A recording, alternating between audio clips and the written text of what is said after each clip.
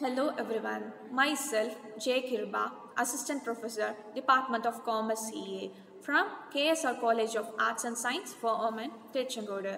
Today let us discuss about Industrial Law, Unit 3.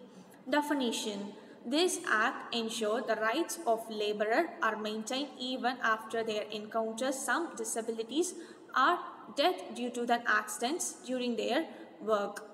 Nature all the employees working full-time, part-time, temporarily or casually labeled to receive the financial protection under this law. It comes into an effect in case they are requiring injuries, incapabilities and disfigurement or death while performing their duties. What is the meaning of workman's compensation? The workman compensation for the death, injury or an accident suffered by the workers in the, in the course of their employment and paid to them or their dependents.